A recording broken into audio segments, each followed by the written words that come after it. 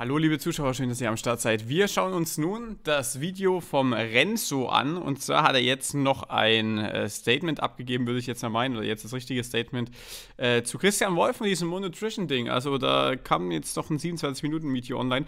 Christian Wolf, Vorwürfe über Betrogen, Umgang mit Kritik und mehr. Ich würde sagen, wir gucken da jetzt einfach mal rein. Let's go. Video geht es vor allen Dingen um Christian Wolf. Das ist einer der Gründer von Monotrition. Ich möchte in diesem Video die häufigsten Vorwürfe und Kritiken zusammenfassen, die aktuell in diesem Themengebiet im Raum stehen. Normalerweise, wenn ich recherchiere, gibt es super viele seriöse Quellen, die ich dann durchgehen kann. Also zum Beispiel Zeitungsartikel von FAZ, Spiegel, Zeit Online oder so. Bei denen findet man aber zu diesem aktuellen Thema gar nichts. Also es gibt relativ wenige seriöse Medien, die sich überhaupt damit befasst haben. Und wegen dieser wenigen seriösen Belege und weil die Thematik für Außenstehende sehr undurchschaubar ist, ihr werdet sehen, das sind unfassbar viele Infos und verschiedene Themen. Deshalb. Das ist, by the way, auch der Grund gewesen, weshalb ich ähm, davon nicht viel mitbekomme. Also ich habe davon schon ein bisschen was mitbekommen, aber ich habe die ganze Thematik nicht, nicht ganz so mitverfolgt, weil das so viel war. Dann war auf einmal noch Julian Ziedler mit dabei und so weiter und so fort. Und da hatte ich dann gar keinen Bock mehr, irgendwie noch durchzublicken. Äh, hey Unico hat dazu oder Unico Online hat dazu auch noch Videos gemacht, aber ich, äh, ich war dann auch irgendwann raus gewesen. Ne? Wird dieses Video den Fokus vor allen Dingen auf eine nüchterne Darstellung von Informationen legen, für die Leute, die davon bisher wenig mitbekommen haben. Klar, meine Meinung bringe ich deutlich rüber, aber die sollte hier nicht so krass im Fokus stehen, wie zum Beispiel bei einem Zerstörungsvideo oder so. Ist auch so schon alles kompliziert genug. Deshalb habe ich diesmal bei den Recherchen auch super viel mit Leuten gesprochen, also mit JournalistInnen oder Betroffenen oder Beteiligten oder so. Also hierfür habe ich Dutzende Stunden allein nur mit Telefonaten verbracht. Dann alles zu sammeln, auszuwerten, vor allen Dingen verständlich in ein Video zu packen, hat mich ziemlich viel Zeit gekostet. Und weil ich die letzten Wochen nicht so viel Zeit übrig hatte, weil mich berufliche, aber vor allen Dingen auch private Angelegenheiten sehr beansprucht haben, hat sich das jetzt echt über Wochen gezogen. Aber Jetzt habe ich es fertig. Full Disclosure an der Stelle, Christian Wolf ist mittlerweile bei Moore komplett raus, was auch unabhängige Medienberichte bestätigen. Trotzdem, weil ich auch eine Kooperation mit Moore habe, war es mir wichtig, mich auch für mich selbst halt mit dem Thema zu befassen. Und ich habe natürlich dieses Video von niemandem beeinflussen lassen, wie immer. So, es gab verschiedene Kritik und Vorwürfe, die in den letzten Wochen im Raum standen. Das mit Abstand krasseste Thema war aber, dass mehrere Menschen von unbekannten Nummern kontaktiert und bedroht wurden. Darum soll es jetzt hier auch am Anfang des Videos gehen und der zweite Teil des Videos ist dann eine Zusammenfassung von ganz vielen anderen Themen, die teilweise auch viel, viel älter sind, aber in diesem Kontext halt nochmal thematisiert wurden. Aber jetzt starten wir mit dem aktuellen Thema.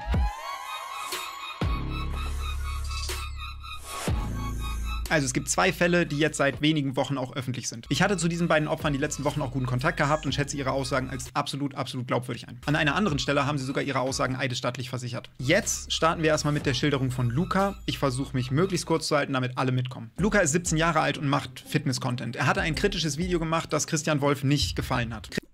Ey, das haben wir uns, glaube ich, sogar angeguckt, ne? War das nicht hier, wo Abgequieft ein Video zu gemacht hat? Äh, hieß der Luca, aber das war auch zumindest ähm, ein, ein, Jüngerer, der dann so einen Vertrag bekommt, oder, oder wo dann gesagt wurde, okay, du bekommst einen Vertrag von uns. Und dann ist aber nichts mehr daraus entstanden, weil er hat eigentlich Kritikvideo zu, zu Dings gemacht, zu Christian Wolf oder Monotrition oder so. Und dann kam es irgendwie zu einem Vertrag und dann hatte sich, oder dann wurde er, glaube ich, geghostet, dieser Luca. Äh, ich bin gespannt, mal schauen, was da kommt. Und dann wurde er später irgendwie noch bedroht oder sowas. Äh, ich, mal schauen, mal schauen. Christian Wolf schrieb Luca das, das auch und ist. Luca antwortete, dass diese Nachricht von Dreistigkeit nicht zu überbieten sei. 28 Minuten später ruft eine unbekannte Nummer Luca an. Er sieht das auch später, ruft zurück und dann sagt er, ist das passiert. Ich habe mir nichts dabei gedacht und war auch total unvorbereitet. Es kam so plötzlich, dass ich mich gar nicht mehr genau daran erinnern kann. Aber sinngemäß habe ich gefragt, hallo, wer bist du? Und dann kam als Antwort, und das weiß ich noch, wir treffen uns persönlich nicht, dann zeig ich dir, wer ich bin. Und aufgelegt. Luca hat daraufhin die Videos, um die es in der Konversation mit Christian Wolf ging, offline genommen. Am nächsten Tag schrieb ihm dieselbe Nummer dann auf WhatsApp. Luca, altes Haus. Ich sehe, die Videos sind draußen. Und etwas weiter dann, hör einfach auf zu nerven, bist noch jung, mach genau, deinen Sport, ja, leb ja, dein Leben, ja. bleib gesund und alles ist gut. Und falls du weiter witzig sein möchtest und denkst, du wärst cool, und dann schickte die Person Luca Lukas eigene Adresse. Und danach können uns ja dann auch persönlich unterhalten. So, völlig egal, wie das jetzt juristisch zu bewerten ist. Jeder Mensch versteht, dass das eine Drohung ist. Und ich muss hier, glaube ich, nicht betonen, dass das gar nicht klar geht und absolut verurteilt gehört. So viel zur Richtig. Schilderung von Luca. Jetzt geht es um einen zweiten Fall. Da geht es um die Schilderung von Eileen. Eileen macht auf ihrem Instagram-Kanal Gossip News und hatte da auch Inhalte gegen Christian Wolf geteilt. Wenige Tage nachdem das bei Luca passiert ist, bekommt sie einen Anruf von einer österreichischen Nummer und vor allen Dingen viele, viele Nachrichten. Die Person schreibt: Ich bitte dich einmal höflichst, die Videos über den Christian Wolf runterzunehmen, alles rauszunehmen. Dann schickt man ihr sogar eine Vorlage von einem Statement, das sie veröffentlichen soll. Da steht dann drin, drin, da ich selbst zugeben muss, dass ich viele Aussagen nie geprüft habe und einfach gepostet habe, ziehe ich diese Aussagen offiziell zurück.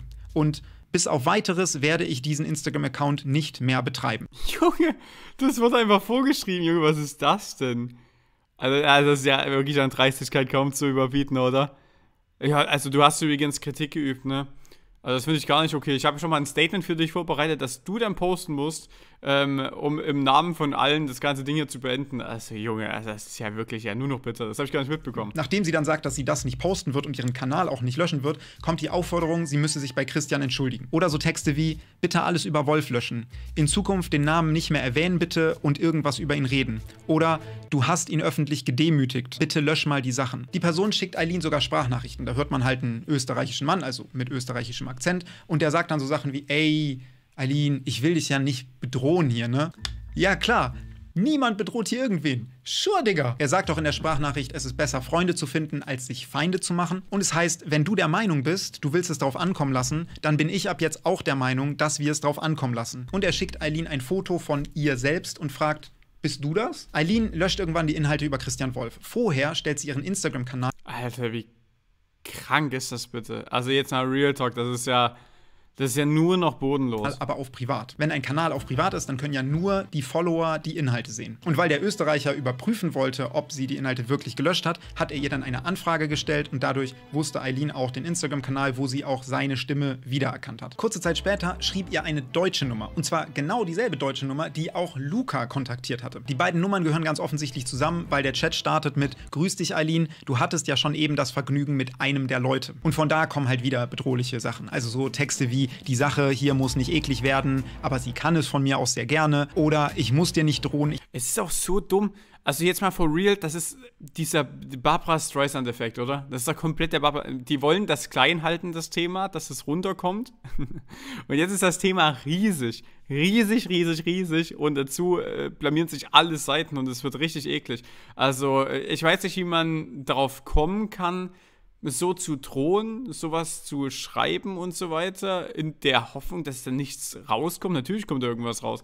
Vor allem bei so einer Schlammschacht gerade eben. Also das ist ja wirklich nur noch dämlich. Aber perfekt. Leute, ihr habt es geschafft, dass das Thema noch größer wird. Ihr Leute, die andere bedrohen und so. so äh, Wow, ihr seid voll cool, Mann. Ich lasse Taten sprechen oder deine Adresse habe ich schon und es wird auch angekündigt, Leute vorbeizuschicken. What the fuck? Vor allen Dingen waren diese letzten Drohungen völlig unnötig, weil Aline ja schon die Inhalte über Christian Wolf gelöscht hatte, also die Forderung erfüllt hatte. Das diente also einfach nur der generellen und dauerhaften Einschüchterung. So, ihr habt jetzt die Zusammenfassung gehört von diesen beiden Fällen, also von den Schilderungen von Luca und Eileen. Und meine Einschätzung ist, dass diese Schilderungen absolut glaubwürdig sind. Das ist scheinbar so passiert. Und ich habe mich hier schon wirklich kurz gehalten, weil man für die gesamte Geschichte Geschichte mindestens eine Stunde bräuchte. Dazu gibt es übrigens unter anderem von Eileen einen YouTube-Podcast, der geht anderthalb Stunden. Also gebt euch den gerne, wenn ihr mehr Details wollt. Beide Opfer sind natürlich auch zur Polizei gegangen, aber die hat offensichtlich nicht so viel gemacht. Ich habe teilweise ja, auch angeboten, Anwaltskosten zu übernehmen, einfach um auf diesem Weg auch mehr Druck zu machen, aber wie viel dabei rauskommen würde, das kann ich als Nicht-Jurist überhaupt nicht einschätzen. Und jetzt kommt noch eine Sache obendrauf und sorry für den Informationsoverload. Ich weiß nicht mal, wie das aussieht bei solchen Drohungen, ob überhaupt irgendwas passiert. Da habe ich keine Ahnung, oder ob es erst zu irgendwas kommen muss oder, oder dass da ein gewisser Tatzeitpunkt äh, schon vorgeschrieben wird, dass man sagt, okay, jetzt ist wirklich eine Bedrohung, eine ernsthafte Bedrohung und deswegen äh, äh, schalten wir uns da ein. Ich habe keine Ahnung, wie es da ausschaut, weil irgendwie habe ich das Gefühl, dass gerade so bei Bedrohungen gefühlt gar nichts gemacht wird. Ich meine, hier wurde jetzt auch nichts gemacht, aber ich habe es auch so schon in der Vergangenheit mitbekommen, dass sobald Drohungen ausgesprochen werden, man erstmal so die Füße stillhält und sagt, naja gut, das ist jetzt ob das jetzt ernst zu nehmen ist, keine Ahnung. Also ich weiß nicht, warum macht man da nichts dagegen? Also ist offensichtlich eine Gefährdung von Personen, wenn jemand sagt, jo, wir schicken Leute vorbei, wir kennen deine Adresse, wir kennen deine Bilder und so weiter, dann ist es doch schon dann ist es doch eigentlich schon eine ziemlich ernstzunehmende Drohung, oder? Ich weiß, es ist viel, aber es wäre weird, das Folgende in diesem Kontext wegzulassen. Es sind WhatsApp-Chats veröffentlicht worden, in denen Christian Wolf gerichtet an seine Ex-Freundin sagt, dass sie bestimmte Inhalte entfernen soll. Und wenn nicht, dann wird sie Angst vor ihm haben müssen, einmal noch, und sie wird nie wieder Instagram machen. Und danach, es hätte einen Grund, dass gerade links und rechts Statements verschwinden. Dieses Verhalten im Chat ist absolut inakzeptabel. So spricht man nicht mit Alter. seiner Verlobten, auch nicht mit seiner Ex-Verlobten oder mit irgendwem anders. Man hat mit niemandem so zu reden. Punkt. Dieser Chat, die Bedrohungen an Eileen und die Bedrohungen an Luca waren in einem drei Tage Zeitraum. Also alles relativ close beieinander. Ich muss und möchte auch an dieser Stelle clean sein und betonen, dass, also, wenn das alles drei aneinander war, wie wahrscheinlich ist es dann, dass diese Leute, die diese Eileen und diesen Luca bedroht haben, zusammen unter einer Decke stecken mit äh, Christian Wolf. Die Wahrscheinlichkeit ist, ist da ob das jetzt wirklich so ist, man weiß es nicht, aber man kann sich das durchaus irgendwie so ein bisschen zusammenreimen dass nicht belegt ist, dass Christian Wolf irgendetwas mit den Bedrohungen von Eileen und Luca zu tun hat. Also ja, es ist nicht belegt, das dass seinetwegen Leute bedroht wurden, die hätten ja auch theoretisch alleine handeln können. Er selbst bestreitet auch, irgendwen beauftragt zu haben. Ich darf und werde hier natürlich deswegen auch keine Unterstellung machen, aber ich habe die Information aber es ist sass. zusammengetragen, damit sich jeder ein eigenes Bild davon machen kann. So, das war das aktuell größte Thema in dieser Richtung. Und es war wie ein fucking schlechter Krimi. Ich meine, was ist sowas? Das ist nicht normal, dass sowas passiert und es darf auch nie normal sein. Monutrition hat sich, by the way, von dieser Sache absolut distanziert. Die haben teilweise auch direkt Kontakt mit Betroffenen gehabt, haben Anzeige gegen Unbekannt erstattet und haben eine externe Kanzlei damit beauftragt, Informationen zu sammeln, die dann der Staatsanwaltschaft übergeben wurden. Kurze Randnotiz noch dazu. Ich war zuerst ein bisschen irritiert, dass sie nur Anzeige gegen Unbekannt erstattet haben, weil bei einem der beiden Täter der Vorname, Wohnort, Aussehen und so eigentlich ziemlich klar sind. Also dachte ich so, hä, warum Anzeige gegen Unbekannt? Das ist doch offensichtlich der Peter aus Wuppertal. Also jetzt nicht Peter aus Wuppertal, aber ihr versteht das Prinzip. Aber ich habe dann rausgefunden, dass das wohl juristisch so definiert ist. Also man muss, auch wenn man starke Hinweise auf die Identität einer Person hat, trotzdem Anzeige gegen Unbekannt erstattet, wenn man nicht alle notwendigen Identifikationsmerkmale erfüllt hat. Insofern habe ich das verstanden und das scheint der Grund zu sein. So, so viel zu diesem Bedrohungsthema. Mit diesem Thema ist in letzter Zeit dann aber auch nochmal andere Kritik wieder hochgekommen, teilweise in Richtung Christian Wolf, teilweise aber auch in Richtung von anderen Influencern von More oder sogar. Aber also das ist schon krass. Also das heißt, die Polizei kann da auch nichts machen oder wie, wie schaut das aus? Wenn sogar das eigentlich bekannt ist, so wie der heißt und wo der wohnt und so, dann ist doch, dann geht ja eine Gefahr von so einer Person aus. Ja, die sagen, ja gut, uns fehlen noch ein paar mehr Merkmale, aber ist es da nicht Sinn, oder nicht schlau irgendwie, dass die Polizei rausfindet, ob das die Person wirklich war, als hätten die die Möglichkeit nicht, das herauszufinden, äh, wer das wirklich war am anderen Ende des, des Telefons. Also, äh, ja, keine Ahnung, also das ist schon weird. Selbst. Da geht es jetzt größtenteils natürlich nicht mehr um so heavy Shit. Teilweise wird es sogar ein bisschen wissenschaftlich. Da ging es teilweise um Aktuelles, aber auch viel um Älteres, teilweise von seriösen Quellen, teilweise von unseriösen Quellen, teilweise mit gesicherten Informationen oder auch nicht, teilweise direkt als valide erkennbar, teilweise auch nicht. Es es ist so unfassbar viel Content, vor allen Dingen in der Fitness- und Gossip-Szene, darüber gepostet worden. Und manches davon gucken wir uns jetzt an, aber natürlich ist dieses Video keine vollständige Liste davon. Das soll dieses Video auch gar nicht sein, weil ab irgendeinem Punkt gehen natürlich Themen einfach unter. Allein der ganze Beef, den es zwischen verschiedenen Konkurrenzmarken bzw. ihren Gründern oder Influencern in den letzten Jahren in dieser Bubble gab, mit vielen Video-Statements hin und her, das ist ein Rabbit Hole. Allein damit könntest du eine Doktorarbeit füllen. Aber ich möchte in diesem Video halt die Themen behandeln, die ich einfach oft gesehen habe. Also in Kommentaren, DMs, bei seriösen Medien und so. Also Nächstes Thema. Wenn ihr mich verfolgt, dann könnte es sein, dass ihr Monotrition in erster Linie von mir kennt oder halt von so YouTuber, StreamerInnen wie zum Beispiel Reefed. Ich gebe euch natürlich wie immer Bescheid, wenn. Also for real, ich glaube, man. Also ich verbinde Monotrition nur, oder ich kenne Monotrition nur wegen Rezo. Und ich glaube, die meisten tatsächlich auch weil Rezo halt wirklich so das, das Aushängeschild ist dafür. Ne? Also, aber weil er es halt auch wirklich sehr krass bewirbt. Ich weiß nicht, wie es bei Reef ausschaut, aber, aber Rezo bewirbt das schon sehr, sehr heftig. Also das merkst du auch. Wenn es Rabatte bei Nutrition gibt. Und dann kennt ihr am ehesten wahrscheinlich die Produkte, mit denen man Zucker sparen kann. Aber liegt natürlich auch daran, weil ich Rezo folge. Ne? Also ich, ich sehe ihn ja überall und dann sieht man halt auch die, die Placements. Kann oder Proteine zu sich nehmen kann. Aber die stellen neben solchen Produkten noch andere Sachen her, zum Beispiel auch Supplements oder Nahrungsergänzungsmittel. Also zum Beispiel für, weiß ich nicht, Omega-3 oder Vitamin D oder irgendwie sowas halt. Und manche InfluencerInnen von More machen dafür halt auch Werbung. Und für sowas gilt, wenn ihr jetzt zum Beispiel irgendwo einen Mangel habt, dann kann es obviously sinnvoll sein, sowas zu supplementieren. Ich hatte zum Beispiel letztes Jahr beim Arzt mal meine Werte checken lassen und sollte daraufhin vor allen Dingen Vitamin D und Vitamin B12 Supplements nehmen. Und nach drei Monaten waren die Werte bei mir schon viel besser und seitdem achte ich da ein bisschen mehr drauf als vorher. Also, es ist gut, dass es Supplements gibt, aber die sind keine Medizin und dürfen nicht als solches beworben werden. Und genau dazu gab es in der Vergangenheit Kritik. Zum Beispiel wurde letztes Jahr an Christian Wolf kritisiert, dass er ein Supplements-Produkt als eigentlich schon ein Medizinprodukt beschrieben hätte. Und so kann man Supplements nicht beschreiben oder framen, weil dann klingt das ja so, als sei das ein Arzneimittel. Für Arzneimittel gelten nämlich andere Anforderungen, die man erfüllen muss. Zum Beispiel muss man dann in Studien nachweisen, dass sie halt gegen eine bestimmte Sache helfen oder welche Wechselwirkungen und Nebenwirkungen sie haben. Also Arzneimittel und Supplements sind was unterschiedliches und deswegen durfte Christian Wolf halt dieses eigentlich schon ein Medizinprodukt so nicht sagen. In einem anderen Fall wurde er mal kritisiert dafür, dass er einen Zusammenhang Zusammenhang zwischen Melatonin und Krebs hergestellt hat und in diesem Kontext eben auch ein Melatonin-Supplements-Produkt beworben hat. Es wurde sogar auf einem Bild in einer seiner Gruppen der Ausdruck Anti-Krebs-Effekt benutzt. Und das darf man Alter. halt auch nicht. Also man darf nicht den Eindruck entstehen lassen, dass ein Nahrungsergänzungsmittel gegen eine Krankheit hilft. Bei diesen Gesetzen über Nahrungsergänzungsmittel geht es übrigens teilweise nicht darum, ob eine Aussage korrekt ist, sondern ob sie erlaubt ist. Die Regeln sind da so weitgehend, dass man zum Beispiel nicht sagen dürfte, wenn du einen Vitamin Vitamin D-Mangel hast, dann hilft dieses Produkt mit Vitamin D. Das wäre zwar irgendwie offenbar korrekt, aber Vitamin D-Mangel ist ICD-10 klassifiziert. Das ist so ein internationaler Code für Krankheiten. Und wie wir gelernt haben, darfst du nicht den Eindruck erzeugen, dass ein Supplement bei einer Krankheit hilft. Und ich verstehe, dass manche Leute davon vielleicht ein bisschen irritiert sind. Ich finde die Gesetze an solchen Stellen natürlich auch so ein bisschen weird, aber ich persönlich habe teilweise lieber etwas schärfere Gesetze. Finde ich aber tatsächlich, also, äh, also im ersten Moment klingt das erstmal so ein bisschen absurd, aber im zweiten Moment denkt man sich so eigentlich schon sinnvoll, weil wenn du jetzt zum Beispiel einen Vitamin D-Mangel hast, also jetzt beispielsweise, und äh, dein Körper, keine Ahnung, kriegt das auch über Supplements schwierig hin und so, dann bedeutet das nicht, dass dieses Vitamin D, was du dann einnimmst, automatisch für dich perfekt wirkt und äh, das funktioniert dann und dann hast du nicht mehr diesen Mangel. Äh, der kann ja trotzdem noch existieren. Also dementsprechend ist es schon gut so, dass man dann nicht sagt, jo, das hilft und dann hast du keinen Vitamin D-Mangel mehr. Ne? Ähm, ja, nee, also auf jeden Fall ist das, ist das schon sinnvoll, dass da die Gesetze ein bisschen schärfer sind, äh, weil sonst, ich glaube, dann gibt es viele auch falsche Versprechen. Irgendwo. als zu lasche Gesetze, wenn es um Verbraucherschutz geht. Okay, weiter geht's mit dem nächsten Punkt. Studienpicking.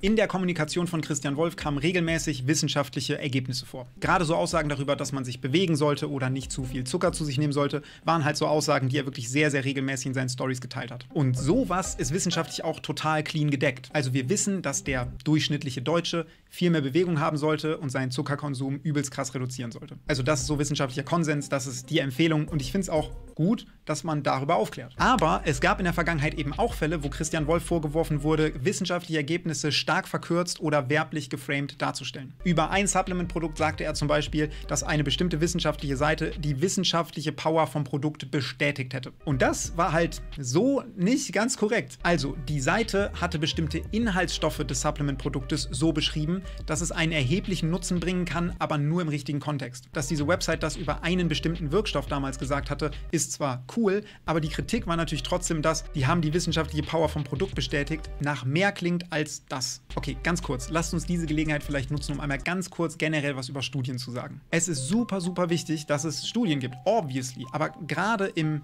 Ernährungs- und Fitnessbereich gibt es einfach Studien, deren Ergebnisse teilweise in eine verschiedene Richtung zeigen. Und das liegt natürlich an verschiedenen Sachen. Zum Beispiel daran, dass wir Menschen keine Maschinen sind, sondern individuelle Körper haben, Richtig. die teilweise verschieden funktionieren. Es liegt zum Beispiel aber auch an einem Grundproblem in der Wissenschaft, das WissenschaftlerInnen indirekt dazu ermutigt, Ergebnisse zu veröffentlichen, die einen Zusammenhang gefunden haben. Also jetzt egal, ob ein positiver Zusammenhang oder ein negativer, Hauptsache, ich habe da was gefunden. Und dazu kommt noch, dass Studienergebnisse in Medien, also auf Social Media, aber auch in Zeitungen oder im Fernsehen oder gerne mal ein bisschen verkürzt und undifferenziert dargestellt werden. Und diese ganzen Gründe und noch mehr sorgt dann dafür, dass man so Headlines liest, wie zum Beispiel, mit Schokolade nimmt man besser ab. Was halt bei einer Studie auch irgendwie das Ergebnis war und von ganz vielen Zeitungen gerepostet wurde, aber einfach falsch ist. Deswegen ganz generell, es ist gar nicht so schwer, sich einzelne Studien zu picken, die irgendwie danach klingen, als würden sie deinen Standpunkt unterstützen. Das wisst ihr, das geht bei jedem Thema, egal ob pro oder contra. Also, guckt immer genau hin. Stellt euch die Frage, was steht denn wirklich in dieser Studie? Ist es nur eine einzelne Studie, die irgendeinen Hinweis gibt, dass unter bestimmten Bedingungen was sein könnte? Oder ist es zum Beispiel eine Meta-Analyse, die eine vielleicht viel größere, allgemeinere Aussagekraft hat? Solche Fragen helfen einfach weiter. Und ja, es ist anstrengend, aber ist halt auch wichtig. Okay, das war's mit diesem Talk. Weiter geht's. Wo Angst mache, okay, das ist äh, interessant. Eine Sache, die teilweise auch im Raum stand, ist der Vorwurf der Angstmache für Marketing. Zum Beispiel hatte Christian Wolf eben letztes Jahr eine Verbindung zwischen Schichtarbeit, Krebs und Melatonin hergestellt und suggerierte dann, dass es bei Schichtarbeitern maybe das Krebsrisiko senken könnte, wenn sie Melatonin supplementieren würden. Und dafür führte er verschiedene Studien an, die zusammengefügt irgendwie darauf hindeuten könnten, dass es maybe so sein könnte, aber maybe halt auch nicht. Also direkt belegt ist es, soweit ich es richtig verstanden habe, nicht. Und dann sagt er sowas. Irgendwie redet da niemand drüber, obwohl wir so viele tolle Menschen haben, sei es jetzt Ärzte oder Ärztinnen, Feuerwehrmänner, Polizei, Pflege, sonst was. Die Menschen, auf denen unsere Gesellschaft wirklich beruht und irgendwie kümmert sich keiner darum, dass die das auch wirklich erfahren, damit sie die gesundheitlichen Auswirkungen davon verstehen und vielleicht auch was dagegen tun können. Naja, und die Lösung, die er in den Raum stellt, ist halt Melatonin zu supplementieren. Und ich finde, das kommt halt schon so ein bisschen emotional pressure mäßig rüber, weil stellt euch vor, eure Mutter ist Krankenschwester in Schichtarbeit und ihr hört sowas, dann fühlt ihr euch ja vielleicht schon so unter Druck gesetzt, der jetzt diese Verbindung zwischen Krebs und ihrem Job und Melatonin so weiterzuleiten. Ja. Und diese Verbindung kann ja so existieren, aber ist eben nicht wissenschaftlich belegt. Und wenn man sich dann vor Augen hält, dass er auch Melatonin-Supplements beworben hat, dann ist das ein ganz schwieriger Vibe und finde, dass man da in der Kommunikation auf jeden Fall auf Ja, das ist halt auch äh, möglicherweise einfach äh, Geld mache. Also, dass man einfach sagt, ja, übrigens, das ist super, super wichtig und ich, ich verstehe das nicht, wie man das dann nicht nehmen kann und so. Ach, übrigens, bei mir gibt es jetzt diese Supplements, ja, Ey, kauft euch das. Damit verdiene ich mir nämlich eine goldene Nase.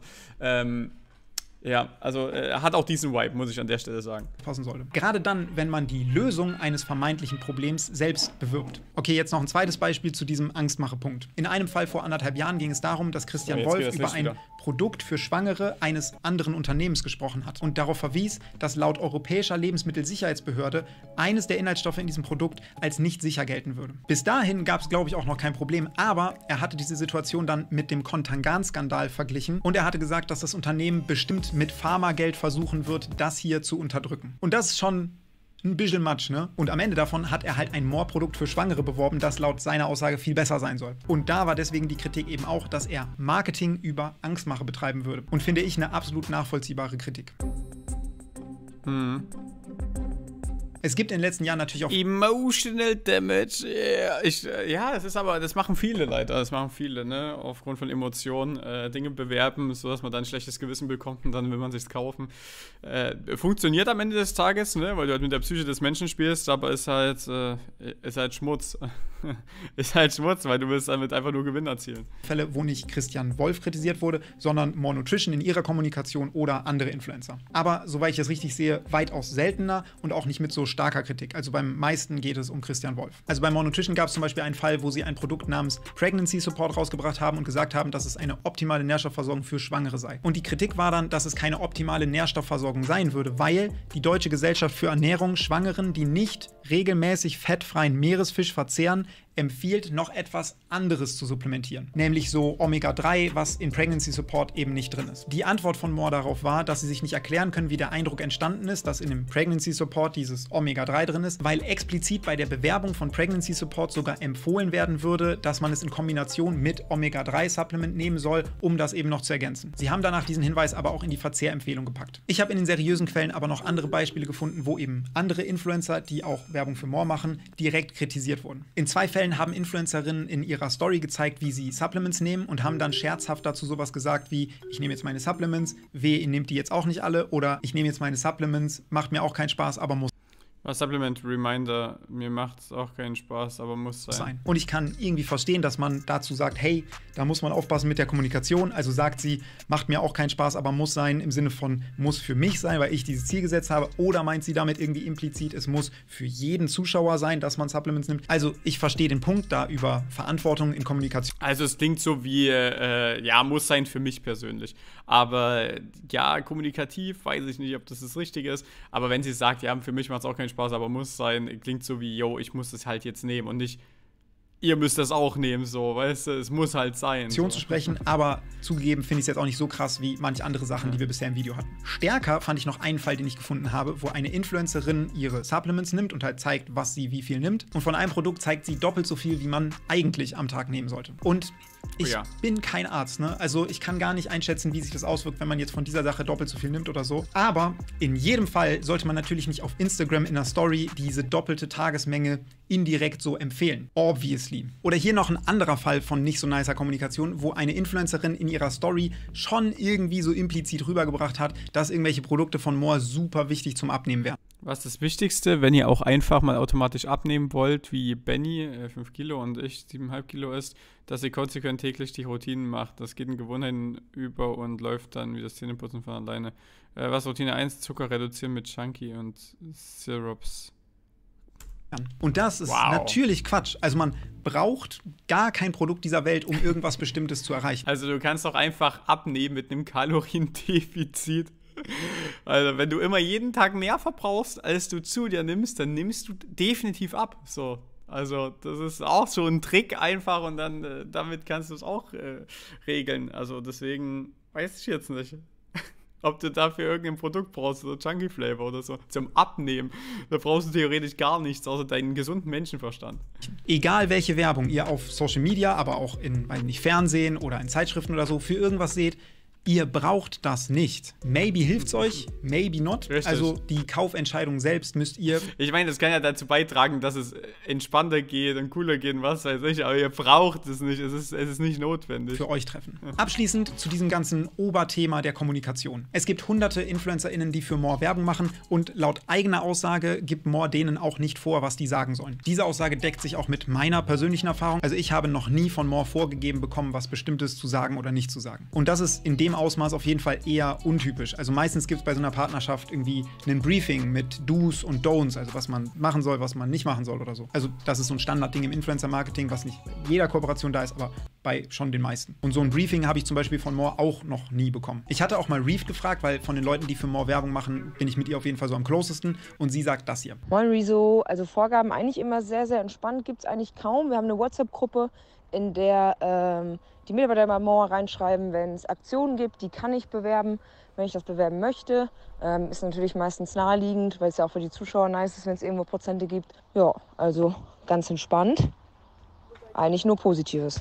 So viel also zu unserer persönlichen Erfahrung. Und don't get me wrong, ich finde es sehr cool so. Und darüber hinaus erwarte ich natürlich von Mord dasselbe, was ich auch von jeder anderen Brand auch erwarte. Nämlich, dass wenn es vorkommt, dass ein Influencer wiederholt Sachen sagt, die man so nicht sagen darf, dass man dann kritisch damit umgeht und gegebenenfalls dann irgendwann auch seine notwendigen Schlüsse daraus zieht. Und das erwarte ich natürlich von jedem Unternehmen. So, das war's zum Kommunikation bei Werbung Thema. Machen wir weiter mit verschiedenen anderen Kritikpunkten. Ich versuche jetzt noch ein paar, zu denen ich nicht so viel erklären muss, in das Video unterzubringen, ohne dass es unübersichtlich oder zu viel wird. Yeah. Es gab die More Days. Das war eine zweitägige Veranstaltung, wo manche Sachen am ersten Tag so schlecht organisiert waren, dass Leute teilweise für so Basics wie Wasser super, super lange anstehen mussten. Da gab es viel, viel Kritik, auch mit eigener Instagram-Seite und so. Und am Ende hat sich More dann entschieden, den Leuten ihr Geld zurückzuerstatten. In einem anderen Fall ging es um eine Transformations-Challenge, wo man was gewinnen konnte. Und es kam halt schon so rüber, dass so die größte Transformation gewinnen würde. Da war dann die Kritik, dass Leute dadurch animiert werden könnten, auch auf eine ungesunde Art irgendwie abzunehmen oder Muskeln aufzubauen oder so. Super nachvollziehbare Kritik, Ja, weil ja, das für stimmt. manche natürlich so irgendwie rüberkommt. Daraufhin wurde dann die Art für die Auswahl der Gewinner anders kommuniziert und eben betont, Ich meine, an und für sich ist eine Transformationschallenge eigentlich voll geil, oder? Also, das, das motiviert und animiert das so krass, äh, äh, Sport zu machen. Äh, eigentlich ist das ist voll das Geile. Oder kannst du dich auch ins Negative transformieren, dass du voll sportlich bist und dann sagst du, ey, geil, Transformationschallenge, jetzt esse ich übel viel und mach keinen Sport und dann nehme ich übel zu, weil hast du dich auch transformiert. Aber ich glaube, das ist nicht der Ziel bei, bei More Nutrition. Ähm, nee, aber an sich ist es eigentlich eine gute Motivation. Aber wenn du da raus halt machst, ja, der, ja, eigentlich, ja, keine Ahnung, wie machst du es dann am besten? Es ist wieder die Frage. und es ist immer schwierig, dann sowas durchzuziehen. Aber so eine Transformationschallenge, ich glaube, das, das motiviert schon viele Menschen. dass es nicht darum geht, irgendwie das meiste Gewicht zu verlieren oder die meisten Muskeln oder so aufzubauen, sondern eine gesunde Entwicklung. Also zum Beispiel von einem ungesunden Untergewicht zu einem Normalgewicht und nicht andersrum. Und für die Kritiker war das dann wiederum ein Zurückrudern, weil die ursprüngliche Kommunikation halt das Problem war. Dann gab es noch einen weiteren Vorwurf von Luca. Ihr erinnert euch, der 17-Jährige, der unter anderem auch bedroht wurde. Und der hatte Christian Wolf vorgeworfen, dass dieser ihm eine Zusammenarbeit angeboten Genau, das hatte ich, genau, das habe ich vorhin angesprochen. Hätte und ich. sich dann irgendwann nicht mehr gemeldet hätte. Was für Luca halt vor allen Dingen auch deswegen ungeil war, weil er sich deswegen zu dem Zeitpunkt keine Ausbildung gesucht hatte, weil Christians Zusage gewesen sein soll, dass er auch darüber einen Ausbildungsvertrag bekommt. Aber dann, so sagt Luca, wäre irgendwann nichts mehr von Christian gekommen. Der Vollständigkeit halber, Luca ist mittlerweile bei einem Konkurrenzunternehmen unter Vertrag. Ich glaube aber trotzdem nicht, dass er solche Sachen einfach sagt, um, weiß ich nicht, Moore zu bashen oder so, weil er auch explizit eben sagt, dass er überhaupt nichts gegen die Moore-Produkte hat. Es geht ihm in diesem Punkt eben um Christian. Dann gab es außerdem noch Fälle, wo Christian Wolf dafür kritisiert wurde, wie er mit anderen Leuten auf Social Media umgegangen wäre. Also er hatte regelmäßig so eine Art Schlagabtausch mit anderen großen Kanälen, wo man sich dann halt in Reels oder Stories widerspricht und frontet. Das ist auch scheinbar in der Fitness-Bubble viel üblicher als in anderen Bubbles. Aber es gab eben auch Fälle, wo er das nicht mit großen Kanälen gemacht hat, sondern auch mit kleineren Channeln bzw. Privatpersonen, die halt irgendwas gepostet haben, was er nicht gut fand. Und das ist schon so.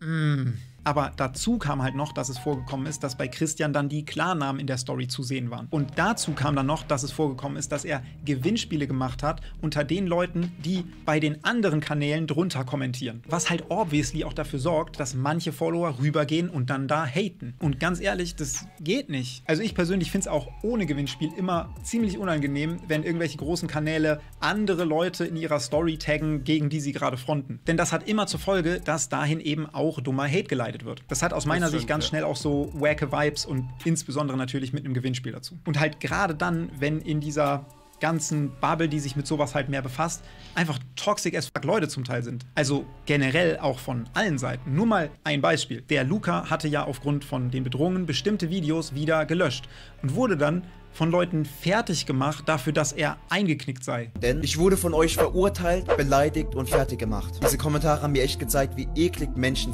Ja, an der Stelle wirklich. Äh, es ist TikTok so, weißt du, es ist, es ist TikTok. Also das Problem ist, das sind so viele toxische, ekelhafte Menschen, die, die kein Hirn haben oder die einfach noch viel zu jung sind, um überhaupt irgendwas zu raffen. Aber gibt es auch Ältere, die, die nur Scheiße reinschreiben.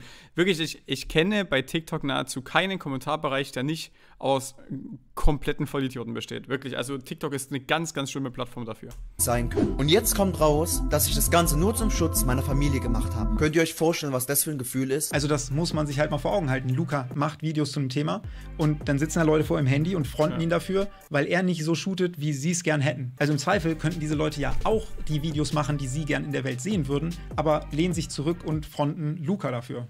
Strong. Also, Digga, der ist 17, was der schon für Scheiß erlebt hat. Aber auch das, also die Dynamiken in der Fitnessbubble zum Beispiel, sind ein Thema, das dieses Video komplett sprengen würde. Deshalb machen wir weiter mit dem nächsten Thema.